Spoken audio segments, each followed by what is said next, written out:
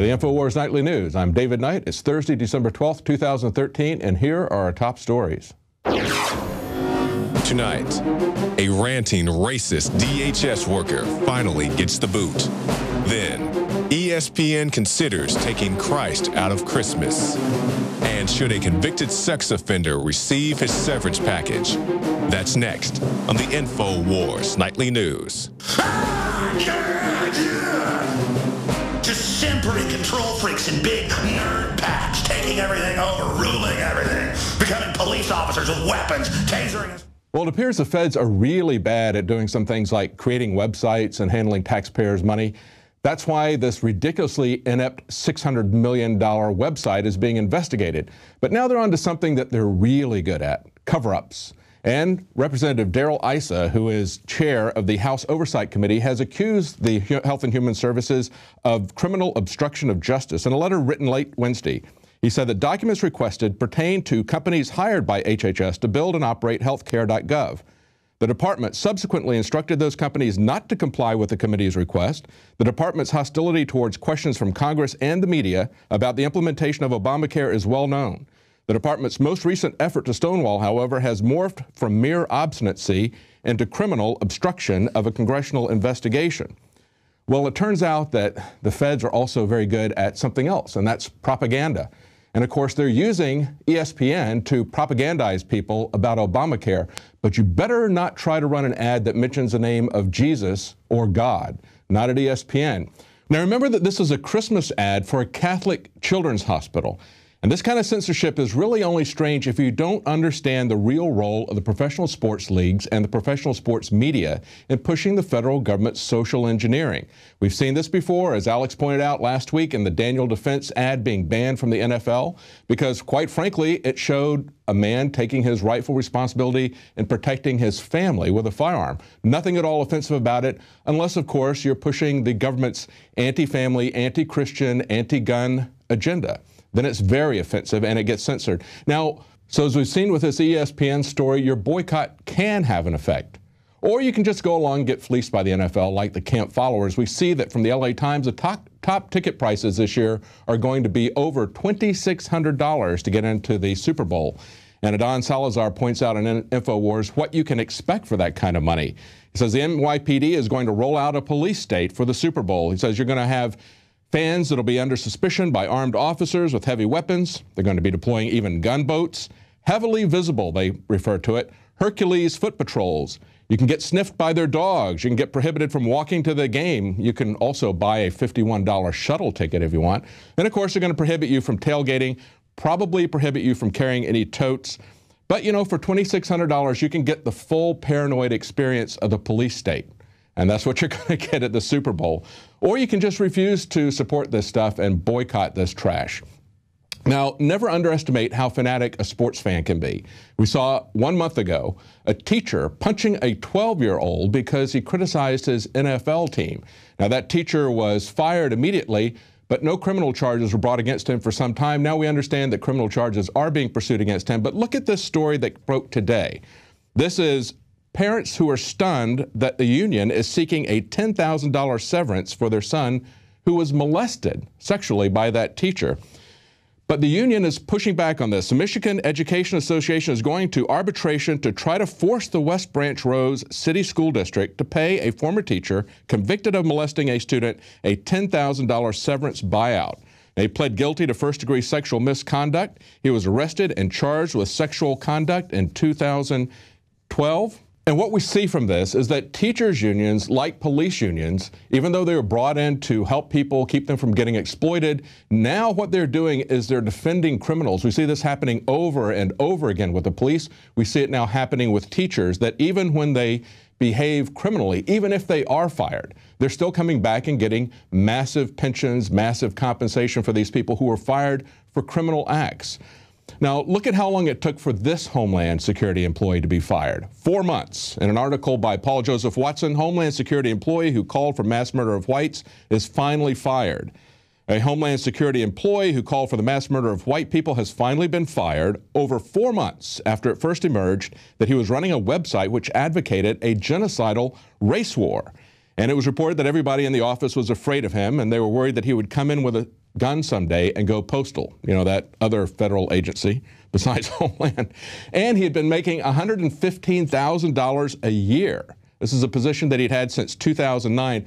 And Paul Joseph Watson points out in his commentary here, he says it's ironic that while the Department of Homeland Security circulates training guidelines and material that instruct their employees to treat liberty lovers and constitutionalists as terrorists, actual domestic extremists can stay in their jobs with the agency for years while publicly spewing violent racial hatred.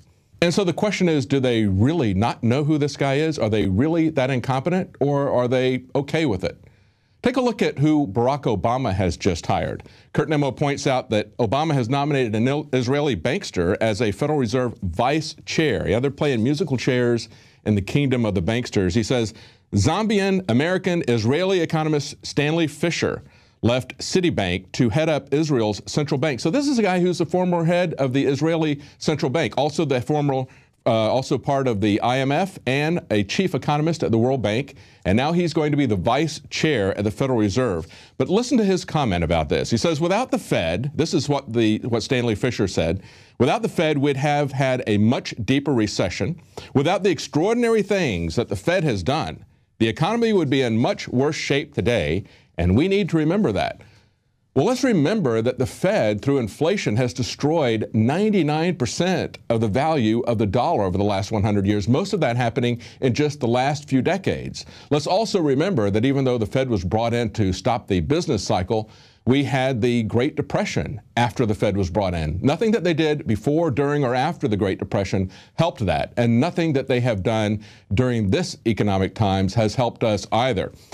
Now, speaking of questionable hires, we see somebody at the Mandela funeral that was translating for the funeral in sign language, and we're going to have Leanne McAdoo interview a deaf educator, and we're going to ask him questions like, how did this guy get there?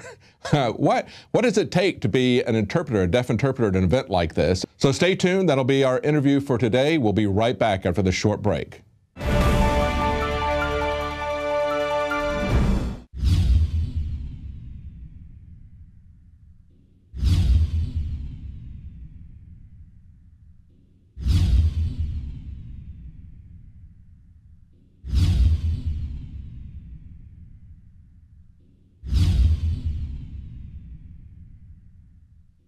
Alex Jones here to tell you about how you can help spread liberty worldwide while also enjoying what I have found to be the best tasting 100% organic coffee on the planet. For more than a decade, my favorite coffee has come from the high mountains of southern Mexico, where the Chiapas farmers grow their unique shade-grown Arabica beans. We have now managed to secure these sought-after beans in a highly customized blend. Discover and try a bag of the Patriot Blend 100% organic coffee at InfoWarsLife.com. This coffee gives gives you a long, smooth pick-me-up for hours without the headaches and heartburn that so many other coffees give me personally. Hands down, this is my favorite coffee, and it's taken us years to secure connections directly to the Chiapas Mexican farmers. Drop by the site today, order a bag or two, and I don't think you're going to be disappointed. Available in original or with our immune support infusion blend. You will be supporting a free press, all the while enjoying a truly great tasting cup of my favorite coffee. Available at InfoWarsLife.com.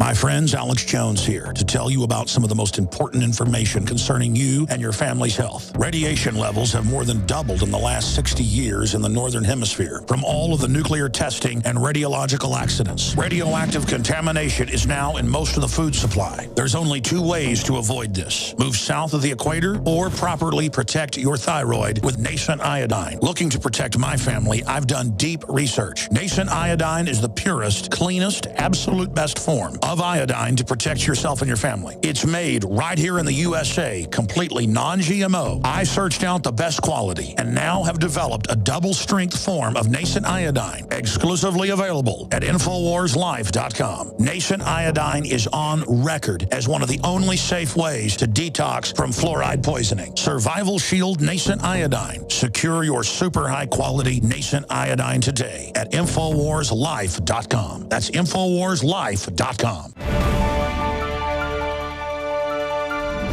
Well, welcome back. Now, if you believe that there's global warming and that you have to save the earth from what man is doing, you have to accept a couple of things. Number one, you have to accept that man made global warming and the production of CO2 is the predominant factor on climate change. Then you also have to accept the fact that even though climate change models predicted that we would have global warming if CO2 went up, that hasn't happened. CO2 has gone up, and for 17 years, temperatures have gone down. Therefore, their model is, as we say in the computer business, garbage in, garbage out. Now, Stephen Colbert had a climatologist, David Keith, on his show, and they talked about climate engineering. And this is very interesting because they hit on chemtrails, and they also hit on the fact that this is something that has been talked about for quite some time about by scientists. The worst way to make decisions about this would be if we all agree that we won't talk about it in polite society, we suppress it, which is basically what had been mhm. happening. Maybe it's happening is, already. You ever look at those planes up there? They have contrails behind them. Maybe all those planes are the contrails, maybe they're actually spraying chemicals into the atmosphere right now, and Uncle Sam isn't telling us. Seems extremely unlikely. The fact that the United the States is not telling something to its citizens, that seems extremely likely to me. Read the newspaper. Now, in that clip, David Keith said the worst thing that would happen would be if scientists would agree that they were going to suppress information about climate change. And that's exactly what they have been doing. Listen to what he said uh, earlier in the interview. He said, This is actually an old idea, climate engineering, known since President Johnson and the scientific community mostly decided not to talk about it. Well, that's what we've been telling you for quite some time. Well, that's what we've been telling you, that this has been going on since the Vietnam War. And this kind of follows the same pattern that we've seen with the NSA. They do this all the time. First of all, they ridicule the idea as being totally impossible. Then they come in with step two and they say, well, technically it's feasible, but we're not doing it. We would never do it. Then they come in with phase three, which says, yeah, we've been doing it all along and there's nothing you can do about it. And of course, it's for your safety anyway. So that's what we kind of see rolling out here. It's an amazing interview. Take a look at it. Go to Infowars.com, read the article, and watch the full clip. Very interesting. And another story from Infowars.com and Washington blog is Is the American Dream Dead? American Dream RIP. As Bloomberg reports, the American people know what's going on. The widening gap between rich and poor is eroding faith in the American dream by almost two to one, 64% to 33%. Most Americans say they no longer have an equal chance to get ahead. And this is the interesting thing. This is not just amongst the poor. Those making less than 50,000 a year by 73% to 24% margin say the economy is unfair, but even 60% of those whose annual income is 100,000 or more feel that way.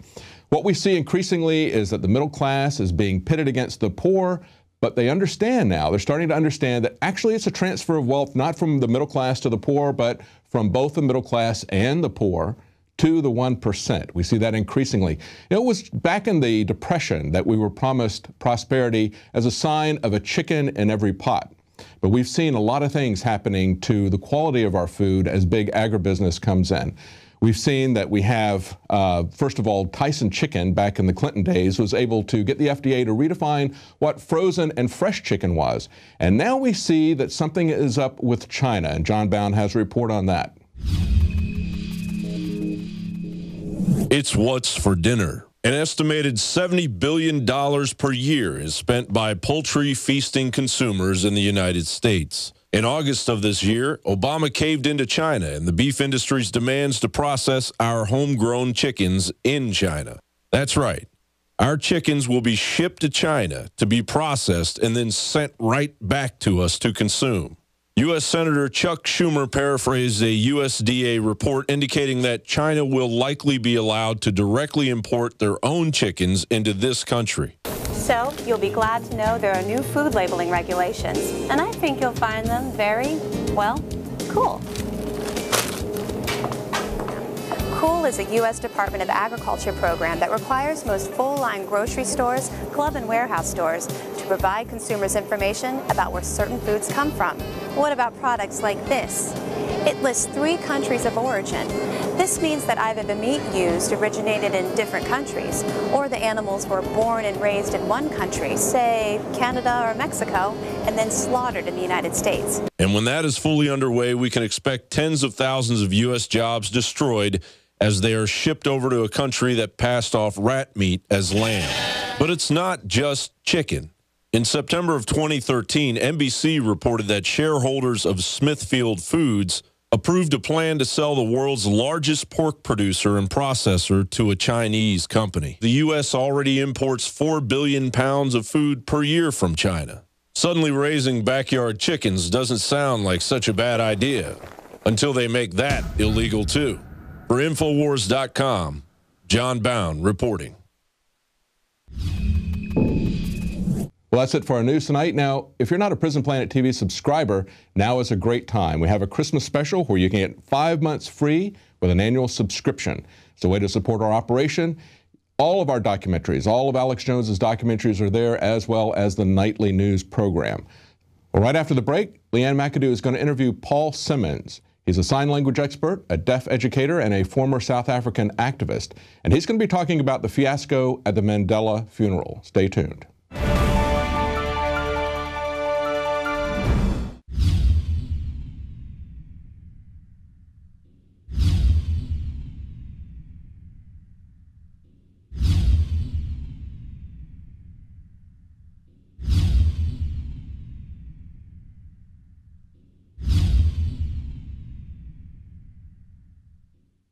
Introducing Pro One. All of your filtration in one system, portable, on the go. No more do you have two or three filters to just reduce sodium fluoride. You have a system that cuts out the sodium fluoride and up to 95% of hydrofluorosilicic acid. Advanced manufacturing technology combines silver impregnated white ceramic with new Aquamedics advanced media for removal of fluoride and other heavy metals, all in one filter element. It is the only one that does it, and out of the gates, we have it discounted at 10% off with promo code WATER. This is the only system that in one unit helps reduce or remove pesticides, herbicides, chloramines, ammonia, and chlorine, hydrofluorosilicic acid, the most common form of fluoride not covered by other fluoride filter brands, and sodium hexafluorosilicate. Get your Pro Pure with the new Pro One filter today at InfoWarsStore.com or by calling 888-253-3139.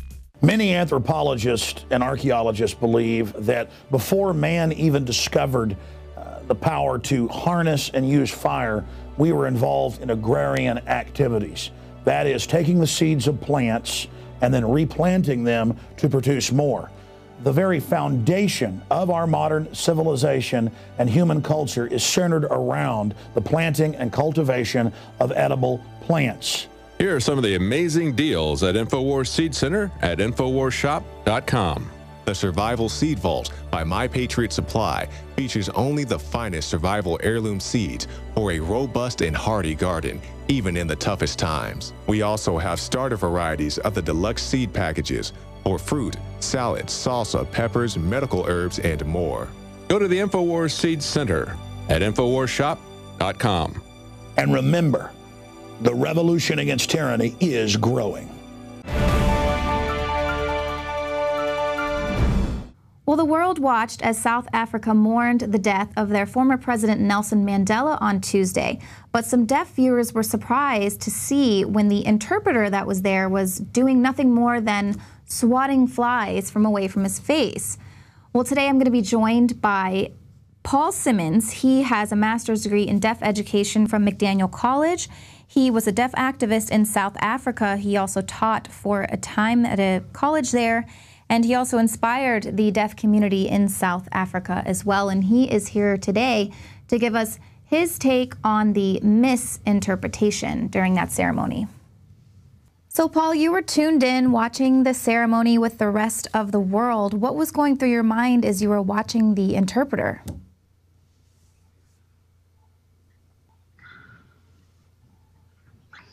Well, when I was first informed by a friend that they sent me a message saying, Is this South African Sign Language? Because I can't understand it. I didn't think much of it initially because I thought there was a good explanation. There are some much better interpreters than others. And I was at, at home and doing some work at the time. And then later, when I looked into it and I saw that the so called sign language it immediately struck me that it followed no rule of sign language at all. And in fact, I contacted a friend in South Africa, and many of my friends there responded similarly that they couldn't understand it at all. And that was the very beginning of the controversy. And I'm, you know, it wasn't really interpreting at all. And so as you were watching, and you were you're able to see that he wasn't signing in Zulu as what they were first reporting. And what was he speaking any words that were coherent or actual real words? No, not at all. And to say that he was signing in Zulu sign language is not true at all. Mm. That there's only South African sign language. Mm. And there are, however, many different variations, many dialects. But Zulu sign language, no, not at all. And there was also a female interpreter. Uh, was she using an international sign language? Uh, she was definitely her her version of of interpretation was much different than his. Obviously.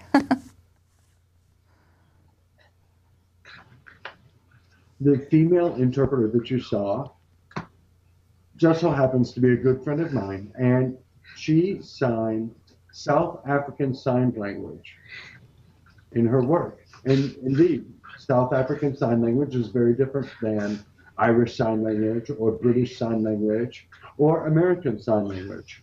Each has its own uh, signs, and there are, however, often grammatical rules that are similar across languages, but the languages are certainly not the same. This is true of any language, any spoken language that we see. There are some similarities to be found between languages, but they're not the same language at all. And so, one of the controversies with his signing was that the crowd in the audience clearly booed the president there. So, how important is it to to make that gesture that the crowd was booing, and why do you think that he kind of withheld that?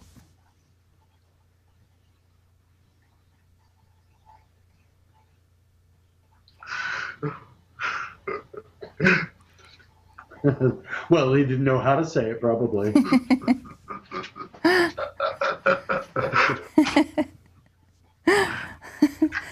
well, and it may be that the interpreter wasn't sure if the president was being booed or he himself.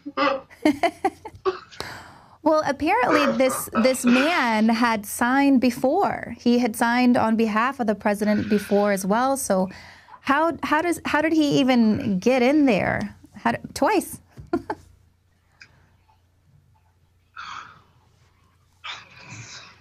Actually, there this was the fourth. Mm, wow. The fourth time.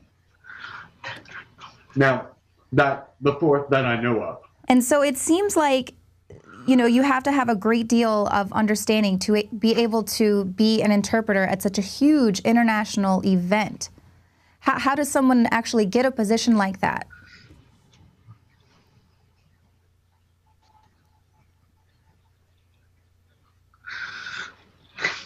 Well, this actually brings up the a great question because we have so many outstanding interpreters in South Africa, highly qualified interpreters with wonderful skills. So why he was chosen, I have no idea. Uh, I believe that people had already complained about this interpreter in the past but no action was taken. And I, from from our understanding here in America, obviously, if someone had been in a mental institution or they were clearly taking medication for schizophrenia or something, as this man claims to to be, he wouldn't be nowhere nowhere near the president, let alone three feet from hundreds of very important people at such an important event like this. Is is there a maybe a difference there in South Africa where they maybe don't see that as such a problem and they kind of gave him a pass? No, no, no. No, not at all. So the problem, though, is that we don't have standards set and yet. Now, I'm not sure if there is a certification process at all currently, but I know that when I was in Africa, in South Africa three years ago, they were in the process of developing standards. Mm. That was in, in the process of being worked on to develop interpreting standards. Ah. And then, so what's been the reaction by the South African and the international signing community to, to for one, for him being there, but then as far as now what he's come out to say was the reason why.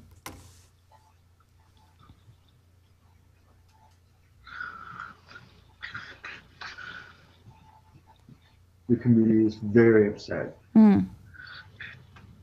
And I've had an interesting conversation with one of my academic colleagues recently because we couldn't really agree on whether this should be called language apartheid or communication apartheid. Mm.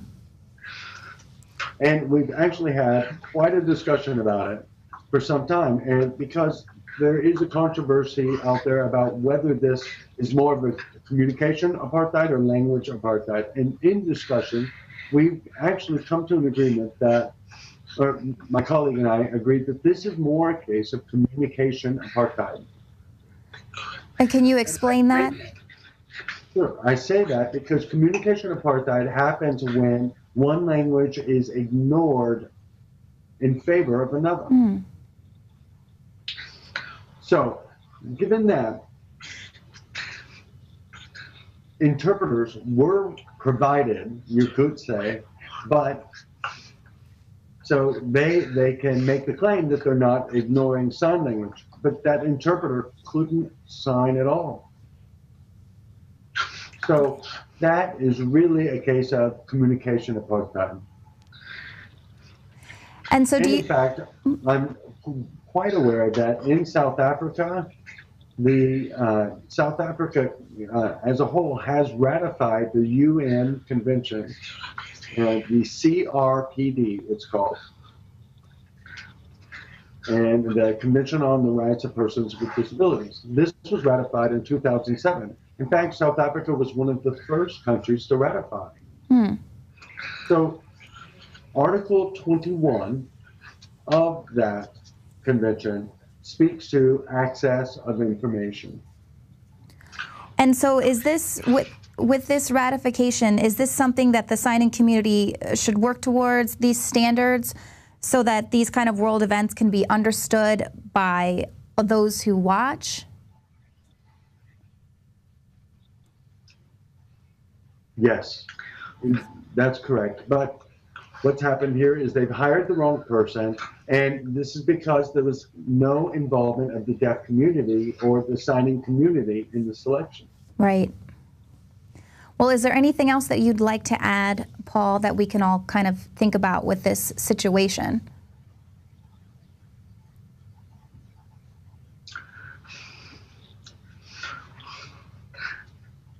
For a very long time, a great deal of time, sign language has been considered a pariah. So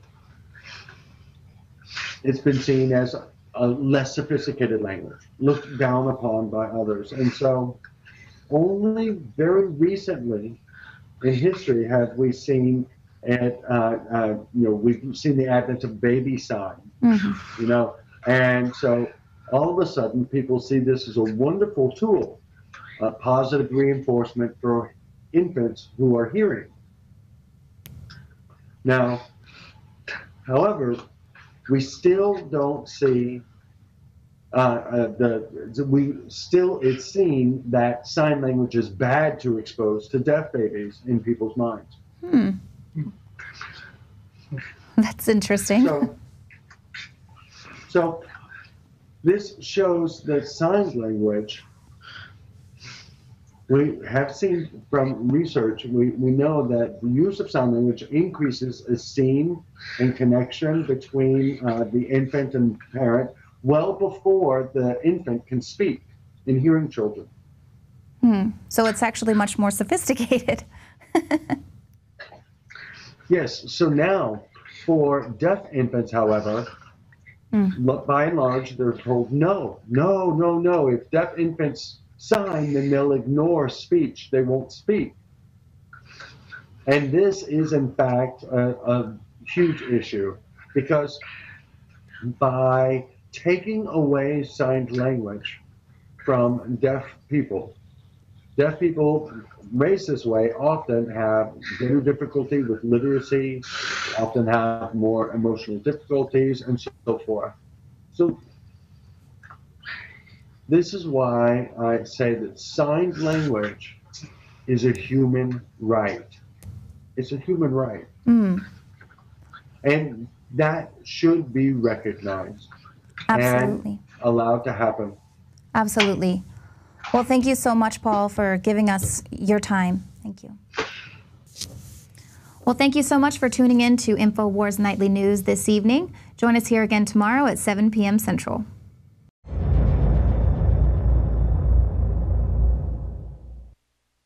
Now you can watch the Alex Jones Show live as it happens at infowars.com/show.